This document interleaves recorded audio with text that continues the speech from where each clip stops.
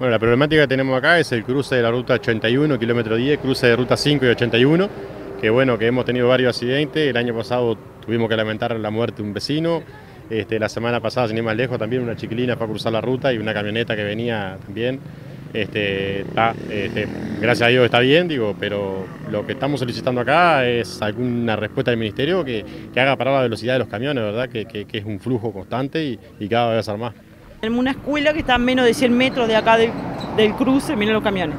A menos de 100 metros del cruce, la mayoría de los niños que concurren a esta escuela lo hacen desde, desde la zona que tienen que cruzar, que es de Paso de Pache, otros que vienen desde el Empalme, y es constante.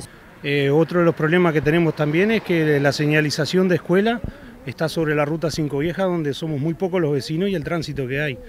Los niños que cruzan hacia la ruta hacia la ruta 5 Vieja, hacia Apache, no hay ninguna señalización que diga que hay una escuela, ¿no?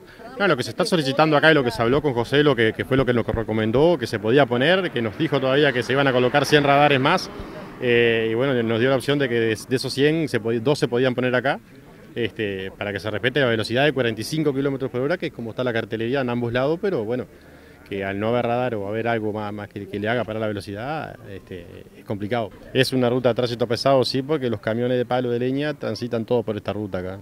¿Están previendo ustedes que esto se va a aumentar cuando se termine de arreglar la ruta? Sí, sí, en la última reunión que tuvimos con José Hernández eh, nos dijo que sí, que, el flujo cuando se terminara la ruta 81 este, iba a ser mucho mayor de, camiones de palo, ¿no?